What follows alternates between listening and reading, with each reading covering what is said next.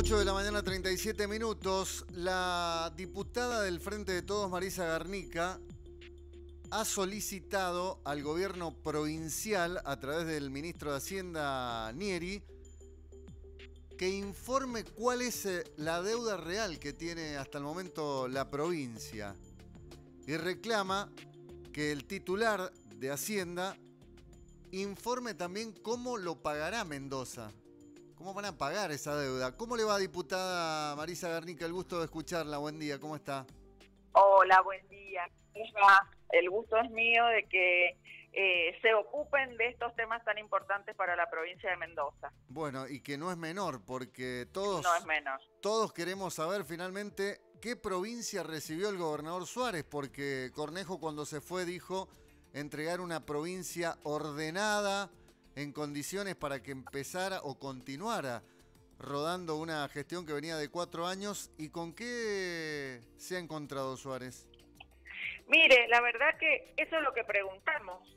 No lo sabemos, desgraciadamente, para los mendocinos. ¿Y por qué digo no lo sabemos? Porque eh, como usted bien lo expresó, si quisiéramos hacer un poquito, un poquito de historia, yéndonos allá en, a diciembre nada más, cuando asumió el actual gobernador, eh, textuales palabras, eh, textuales palabras, él, este, no me quiero equivocar, por eso las quiero leer, em, dijo, eh, queremos una provincia de Mendoza con hospitales funcionando en serio, fortalecidos en infraestructura y equipamiento, con provisión de medicamentos constantes. También dijo eh, con una buena administración, con la buena administración anterior, hemos podido demostrar que hemos ahorrado mucho dinero, cosa que nos ha dado la oportunidad de reasignar esos recursos para fines útiles como impulsar la obra pública. Esto es textual, ¿eh? por eso lo, lo quería recordar porque lo dijo el señor gobernador cuando asumía y también hacía alarde de esta provincia ordenada y equilibrada eh, financiera y económicamente. Entonces, digo, esto fue en diciembre. En marzo, el 19 de marzo, en la provincia de Mendoza, a raíz de la pandemia eh, originada por el COVID-19, se declara la emergencia sanitaria. 19 de marzo, o sea que estamos a dos meses, tres meses, dos tres meses? sí, ya casi tres meses. El 19 de mayo se vencía una cuota de una deuda que el gobierno de Cornejo había refinanciado para pagarse de esa manera. Eh, lo que extraña es que a partir de dos meses de la declaración de la pandemia, eh, la provincia de Mendoza ya no puede pagar una cuota de una deuda que el gobierno de Cornejo asumió y que el mismo gobierno de Cornejo dijo cómo lo iba a pagar.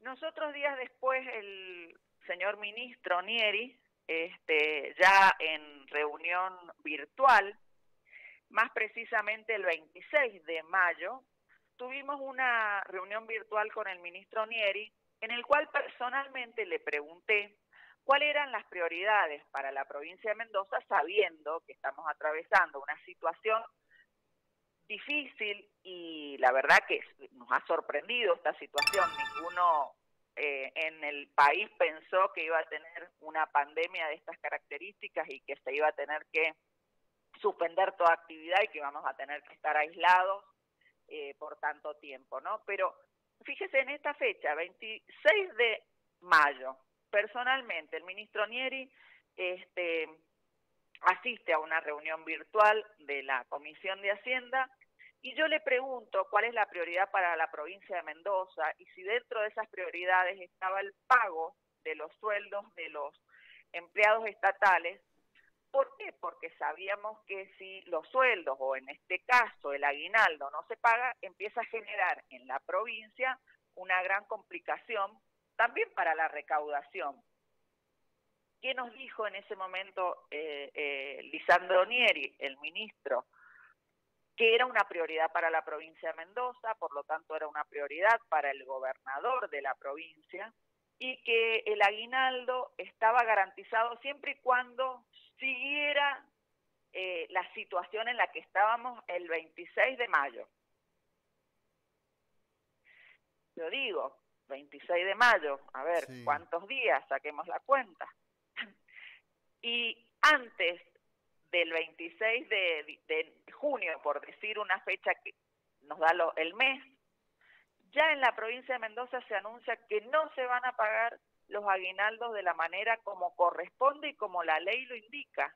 Entonces digo, ¿cuál es la situación de Mendoza si no pagamos las deudas y tampoco pagamos los aguinaldos que corresponden, habiendo estado unos días antes en una reunión en la Comisión de Hacienda con el ministro Nieri y después por los medios nos enteramos que realmente no se va no va a suceder lo que debería suceder y en lo cual ellos se comprometieron y la verdad que a uno les sorprende.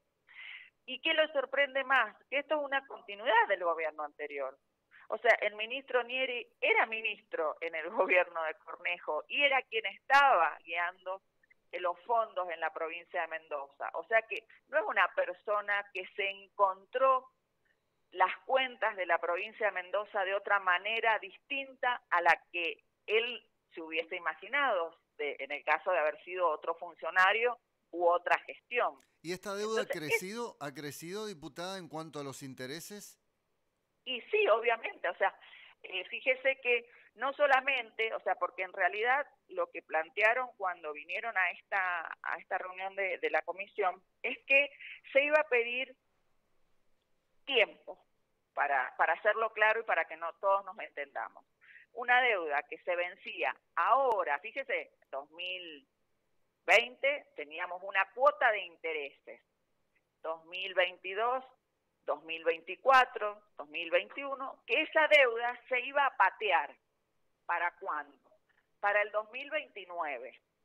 A ver, o sea que tampoco, digo, el gobierno de Cornejo generó deuda, tomó préstamo, dijo cómo lo iba a pagar.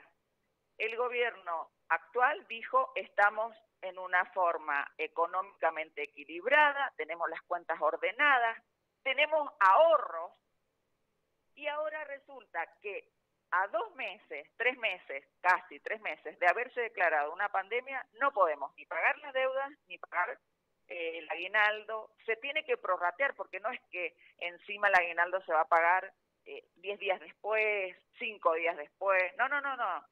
Están viendo cómo prorratearlo para pagarlo hasta noviembre. O sea, digo, y fíjese otra curiosidad, que más allá del tiempo que se pretende ganar, los intereses, nosotros estábamos pagando intereses de esa deuda que tomó Cornejo a una tasa del 8,37%. 8,37%, que según Cornejo decía que eran convenientes estos tipos de créditos porque la tasa era muy baja. La verdad que 8,37 yo no considero la tasa baja. ¿Por qué? Aparte, porque hoy el ministro Nieri está pidiendo que esos intereses se lo bajen al 4%. A ver, el mismo ministro que tomó una deuda con un interés del 8,37%. Entonces, digo, a ver, ¿Aumentaron las deudas en la provincia de Mendoza o no? ¿Se generaron más deudas? Y para colmo hay deudas que la provincia de Mendoza tenía con anterioridad, porque digo, también eh, nobleza obliga, o sea, no es que eh, generalmente los gobiernos buscan esto, eh, a ver, ir pateando las deudas y pagando lo menos que se pueda, pero cuando uno dice que tiene las cuentas ordenadas, que tiene ahorros, que la provincia no tiene problemas económicos, que tiene plata hasta para obras. Fíjese que cuando tratamos el presupuesto 2020, lo que nos decían es que el endeudamiento que pretendían de 300 millones de dólares era solo para otro tipo de obras y había un listadito de ese otro tipo de obras. pero que se iban a continuar las obras que se estaban desarrollando hasta diciembre del 2019, porque esos fondos estaban. A ver, ¿cuáles son las obras que se están continuando? ¿Cuáles son las deudas que se están pagando y cuáles son los sueldos que, y aguinaldos que se están pagando? La verdad que, vuelvo a decir, eso nos sorprende porque, digo, si lo llevamos a, a una economía casera, digo, en una casa y cuando los ingresos no han sido los esperados, pero ha tenido ingresos, ha recibido plata, en este caso de la Nación también ha recibido plata. Bueno, pero dicen que, de la Nación han recibido mucho menos que otras provincias. Mire, artículos periodísticos no dicen lo no dicen eso, ¿eh? Artículos periodísticos dicen que inclusive eh, siendo una provincia no peronista, fíjese si lo queremos llevar al plano este, político, ha recibido más que las provincias aledañas a Mendoza que son peronistas. Y fíjese otra cosa curiosa que también, también hay que sumarlo. Eh, la provincia de Mendoza comenzó a hacer tratativas para que este, también se prorrogaran las deudas y los pagos de esa deuda con el Banco Nación.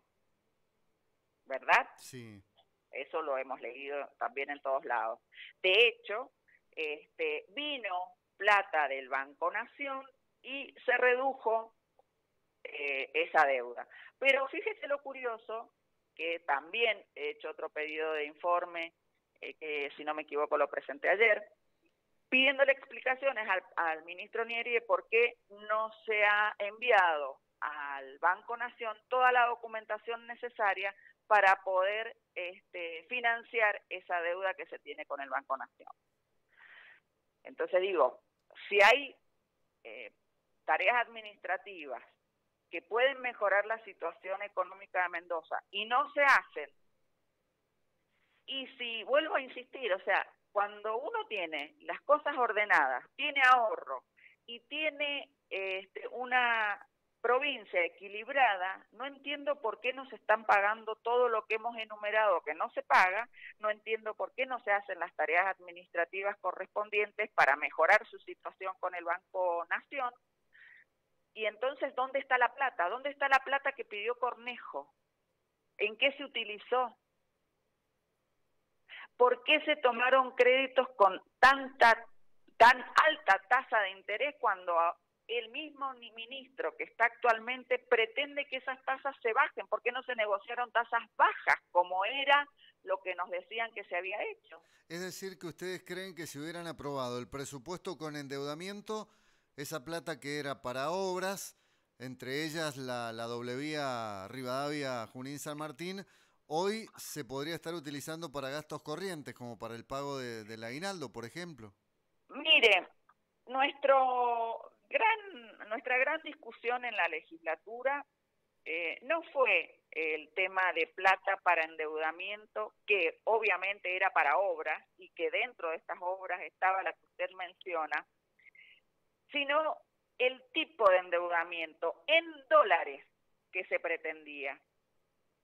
Entonces digo, no hay otros préstamos que no sean en dólares. ¿Por qué en dólares? Fíjese que eh, el préstamo que hoy tenemos que pagar se tomó con un dólar allá, este, si mal no recuerdo. 2016. 2016. Eh, 30 y pico de pesos debe haber estado el dólar en ese momento. Pongámosle 40, sí. ¿quiere? pongámosle 40. ¿A cuánto está hoy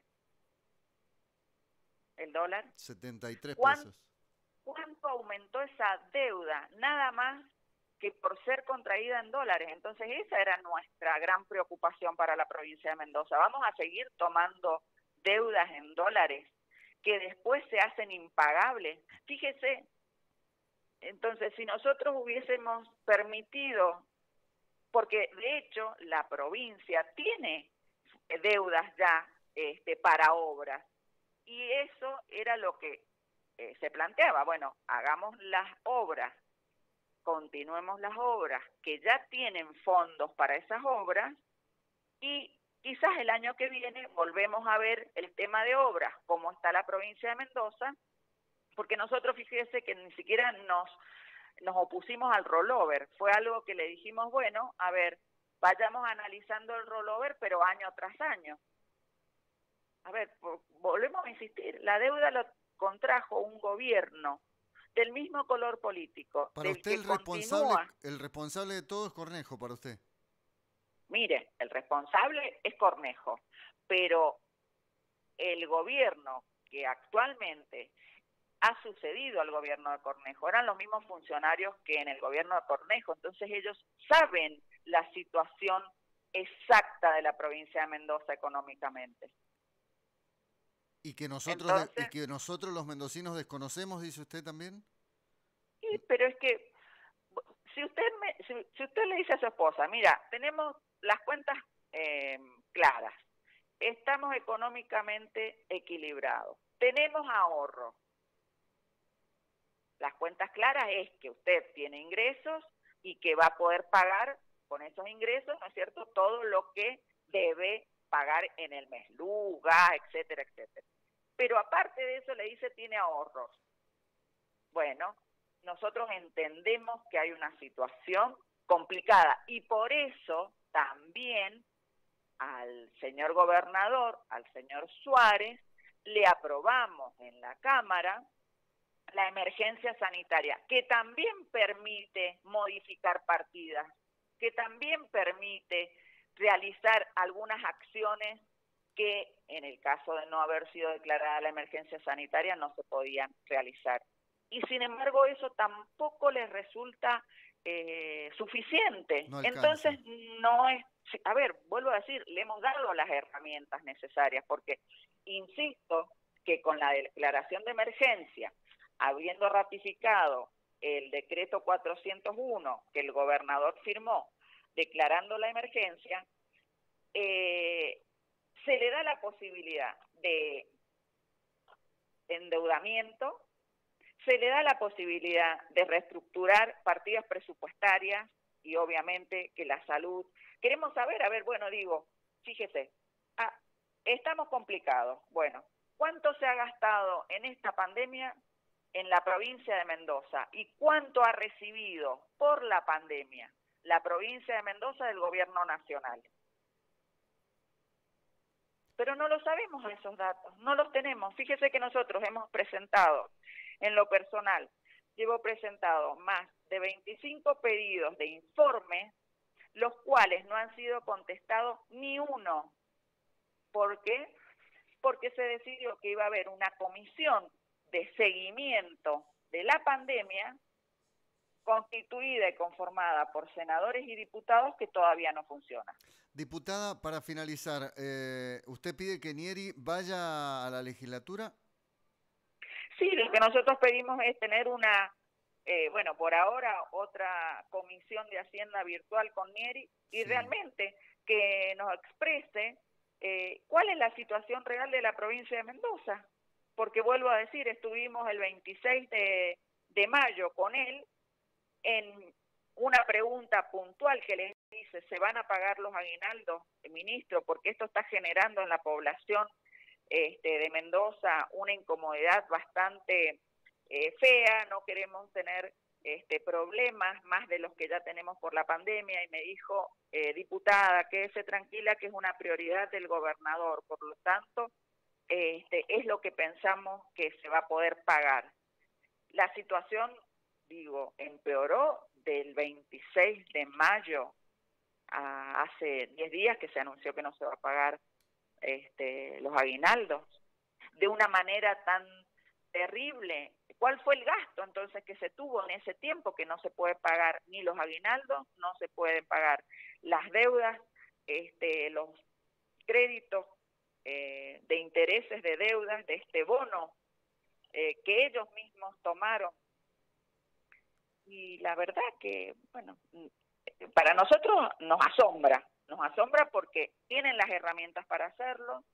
Eh, evidentemente no son claros a la hora de, expresar cómo está la provincia de Mendoza y evidentemente este, ellos recién ahora están empezando a reconocer que tuvieron años 2018, 2019, que venían eh, siéndole complicados a la provincia de Mendoza por una macroeconomía eh, en el país. Pero aún así seguían sosteniendo que tenían cuentas equilibradas, que estaban bien en la provincia de Mendoza y que tenían ahorros para hacer obras. Diputada Garnica, ha sido muy clara, le agradecemos mucho su atención. Me dicen que el, dólar, el dólar en ese momento estaba a 18 pesos y después se disparó. Después del 2017 fue. Por eso, fíjese, 18 pesos, hoy está 70, hagámosle preso, 73 pesos. ¿Cuánto subió la deuda para los mendocinos con el solo hecho de, que, de estar en dólares? Entonces, Mendoza, el país, es muy difícil tomar deudas en dólares cuando hay este, complicaciones económicas en donde el dólar este, se disparó en poco tiempo. y aparte, esto se sabía, ¿eh? porque ellos mismos, el gobierno de Macri, eso es lo que a uno le genera cierta rispidez. Digo, el gobierno de Macri decía que en ese momento que el dólar estaba bajo y que el dólar había que irlo subiendo porque esa era una de las eh, premisas que tenía como gobierno de, equilibrar el dólar en relación al extranjero, equilibrar el dólar en relación a los que importan y exportan, que, que, se, que entonces digo, ellos sabían que el dólar se iba, obviamente a lo mejor no sabían que iba a llegar a este valor, pero vuelvo a insistir, eh, es como los vecinos que lamentablemente en la provincia de Mendoza eh, tomaron créditos para pagar sus viviendas UVA. A ver, nosotros lo, advertíamos. ¿Quién hoy tiene una casa con crédito del IPB en UVA? La verdad que la está padeciendo. Me hace acordar a la 1050 que yo viví de muy joven, pero que también la padecimos. Entonces digo, a ver, estas recetas ya las teníamos, estas recetas nosotros, los que tenemos 50 años, la conocíamos. Entonces digo, eh, cómo tenemos que trabajar con la verdad y sabiendo las consecuencias de tomar créditos, préstamos en dólares cuando en el país el dólar se iba a disparar. Quizás vuelvo a insistir, digo, son economistas quienes están en, en el Ministerio de Hacienda, saben, conocen perfectamente lo que va a pasar.